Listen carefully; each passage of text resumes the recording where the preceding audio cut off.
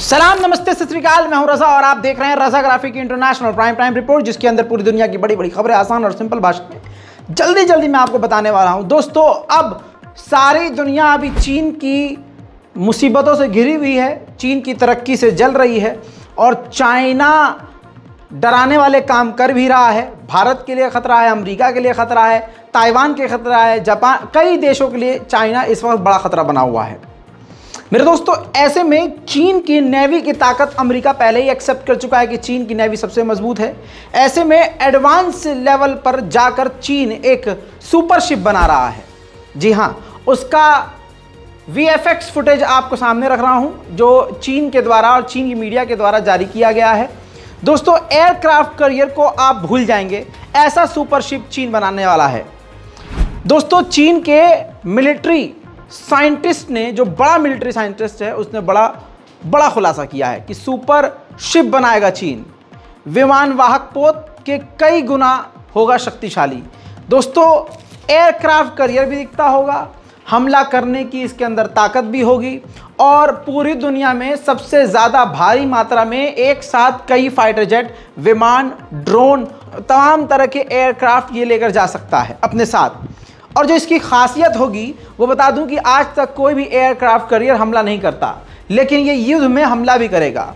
Aircraft carrier की तरह तो है, लेकिन इस, इसमें एंटी मिज़ाइल सिस्टम लगा हुआ है, इसके अंदर रडार सिस्टम लगा हुआ होगा। ये हेलीकॉप्टर को फाइटर जेट को मार गिराने के लिए भी ताकत रखता होगा। इसके अंदर लेज़र सिस्टम भी होगा। फायरिंग करने के लिए मशीन गन भी तैनात होगी। इसमें मोटरार दागने के लिए मशीन भी तैनात होगी। यानी आधुनिक लेवल पर, जैसे स्टार वॉर की हम जो फ़िल्म देखते हैं हॉलीवुड की जो हम फ़िल्म देखते हैं, उसमें आप स्टार वॉर में अगर आपने समुद्री कोई लड़ाकू विमान देखा होगा, उस तरह का ये बनाने जा रहा है चीन, जिससे अमेरिका पहले से ही सत्ते में आ गया है। और चाइना जब कोई बात बताता है कि हम ये बनाने वाले हैं तो लगभग वो बना चुका होता है, तब उसका ऐलान करता है। तो अब यह अमेरिका के लिए एक और बड़ा खतरा बन चुका है। मेरे दोस्तों, अमेरिका के एफबीआई के पास सबूत मौजूद है कि कोविड 19 जो कोरोना बीमारी फैली थी, चीन के वुहान लैब से ही फैली थी। तीन सीनियर साइंटिस्ट जो उस लैब में काम कर रहे थे, चीन की वुहान में, वो पहले संक्रमित हुए थे और उन्हीं से फिर धीरे धीरे ये वायरस फैला। और चीन को यह बात पता है, लेकिन झुटला रहा है। लेकिन चीन के खिलाफ अब सबूत अमेरिका की एफबीआई के पास है। दुनिया को इंतज़ार है। कि कब ये दुनिया के सामने सबूत रखे जाएँ और चीन पर पाबंदी लगे। दोस्तों, वहीं चीन को आप कितना भी गरिया लीजिए, लेकिन चीन दिन प्रतिदिन विकास कर रहा है और मोदी जी के विकास स्टाइल को चुराकर उसने दुनिया को विकास कर कर खुद का दिखा दिया है। मैं कोई किसी की तारीफ़ और किसी की बुराई नहीं कर रहा हूँ, पनौती की तो मैं बात ही नहीं कर रहा हूँ। हकीकत बता रहा हूँ आपको कि सच्चाई ये है कि रिकॉर्ड बना लिया है चीन ने। क्या रिकॉर्ड बनाया है? एक ही मिसाइल के अंदर उसने इकतालीस सैटेलाइट घुसाकर अंतरिक्ष में लॉन्च कर दी है। ऐसा लग रहा है कि भारी मात्रा में अब अंतरिक्ष में चीन मौजूद है। America, Germany, France, Britain, Russia अंतरिक्ष में इतना मौजूद नहीं है, जितना अकेले। लगातार सैटेलाइट की जनसंख्या चीन की अंतरिक्ष में बढ़ती जा रही है। सोचिए, रिकॉर्ड तोड़ दिया, इतिहास का रिकॉर्ड तोड़ दिया कि चीन पहला ऐसा देश है जिसने एक ही रॉकेट के अंदर इकतालीस सैटेलाइट घुसाकर लॉन्च कर दिया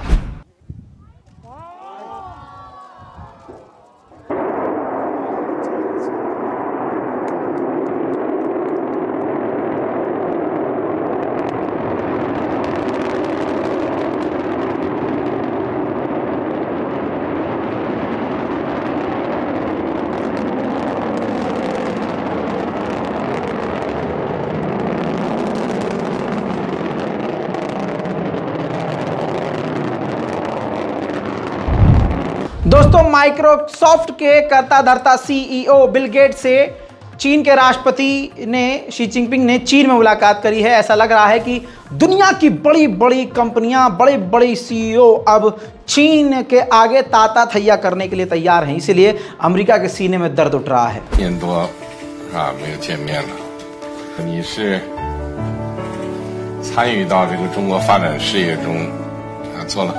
年你是我今年啊是在民间的，我是寄希望于美国人民，在当今世界啊 啊这样的一个形势下，我们可以进行各种有利于我们两国两国人民、有利于整个人类的啊一些活动，我们都做这方。 दोस्तों एक खिचड़ी पकी है थोड़ा समझने में मुझे भी समय लग गया था लेकिन आपको भी समझाऊंगा चाइना पूरी दुनिया में एक ऐसा वाहिद देश है जो सबसे ज़्यादा चिप बनाता है, सिम, मोबाइल चिप। ऐसे में अमेरिका ने चीन की कई कंपनियों को बैन किया कि भाई हम इसे अपने देश में बनने नहीं देंगे, चलने नहीं देंगे। तो चाइना ने अमेरिकी चिप बनाने वाली कंपनी मिक्रॉन, उस पर उल्टा पाबंदी लगा दी कि अच्छा तुम हमारी कंपनी पर पाबंदी लगाओ तो हम भी लगाएँगे। अब मिक्रॉन पर पाबंदी लगी तो मिक्रॉन को डरना चाहिए था, दबना चाहिए था, खामोश होना चाहिए था। नहीं मैक्रॉन ने चीन से दूरी बनाने के बजाय उल्टा चीनी प्लांट में मिक्रॉन वो कंपनी 600 मिलियन डॉलर इन्वेस्ट करने वाली है। यानी खुद अमेरिका की कंपनी चीन से जूता खाने के बाद भी चीन के पाले में है। तो ये इतना बुरा वक्त अमेरिका का आ चुका है। हिंदुस्तान की सबसे बड़ी फ्लॉप फ़िल्म आदि पुरुष दुनिया के सामने आई, जिसने भगवान श्री राम और हनुमान जी का मज़ाक उड़ाकर रख दिया। इसमें बहुत सारे विवाद हैं, लेकिन जो सबसे बड़ा विवाद अंतर्राष्ट्रीय है, वो नेपाल वाला है। नेपाल का कहना यह है कि माता सीता का जन्म नेपाल के जनकपुर में हुआ और भारत ने मैया सीता को भारत का दिखाया। इस पर नेपाल बुरी तरह से भड़क गया। नेपाल के काठमांडू के मेयर ने सीधी धमकी दे दी कि अगर आपने इस फ़िल्म में बदलाव नहीं किया तो आपकी फ़िल्म को बैन कर दिया जाएगा। ये धमकी दी थी और इस धमकी के कुछ ही घंटे के बाद नेपाल में इस फ़िल्म को बैन कर दिया गया। एक प्रोपागंडा फ़िल्म का चारों तरफ़ से जूता खाना। इस बात की दलील है कि नफरत के सौदागर का सौदा ज़्यादा लंबा नहीं चलेगा। पाकिस्तान के फाइनेंस मिनिस्टर ने कहा है कि जो विदेशी ताकत हैं, जिसमें भारत की तरफ़ भी इशारा करा है, कि जो फॉरेन ताकतें हैं, विदेशी ताकतें हैं, वो हमें डिफ़ॉल्ट होते हुए देखना चाहती हैं। और आईएमएफ उन्हीं के इशारे पर काम कर रहा है। उधर नॉर्वे के अंदर दुनिया भर के बड़े बड़े देशों ने, देशों के अलग अलग देशों के विदेश मंत्री डेलीगेशन ने तालिबान से मुलाकात करी नॉर्वे में। मज़ेदार बात यह है कि पाकिस्तान और भारत ने भी नॉर्वे में तालिबान से मुलाकात करी। मोदी है तो मुमकिन है। दोस्तों, उधर तालिबान के सेंट्रल बैंक के मिनिस्टर ने, यानी तालिबान के अफ़गानिस्तान के बैंकिंग सिस्टम के तालिबान के मिनिस्टर ने चीन के अम्बेसडर से मुलाकात करी है, ताकि तालिबान चीन की मदद से अपने अफ़गानिस्तान की बैंकिंग सिस्टम को खड़ा कर सके। ये भारत के लिए एक बुरी खबर है। दोस्तों, आपको बता दूँ कि नॉर्थ कोरिया लगातार लगातार जो है रॉकेट लॉन्च कर रहा है, सेटेलाइट लॉन्च कर रहा है, जिससे जापान और साउथ कोरिया ज़बरदस्त तरीके से परेशान है। अब पिछला एक उन्होंने सैटेलाइट लॉन्च किया था, उसका एक बड़ा मलबा, एक बड़ा हिस्सा नॉर्थ कोरिया के रॉकेट का साउथ कोरिया को मिल गया है। जी हाँ प्रूफ के अंदर लगी हुई तस्वीर आपको नज़र आ रही है। अब इससे नॉर्थ कोरिया के खुफिया तंत्र, उसकी जाँच पड़ताल करके, रिवर्स इंजीनियरिंग करके साउथ कोरिया भी बहुत लंबा खेल खेल सकता है। नॉर्थ कोरिया की धमकी के बावजूद साउथ कोरिया के पोर्ट पर अमेरिका ने अपनी एक परमाणु समरीन, खतरनाक परमाणु बमों और मिसाइलों से, घातक मिसाइलों से लैस करके साउथ कोरिया के पोर्ट पर भेज दिया है।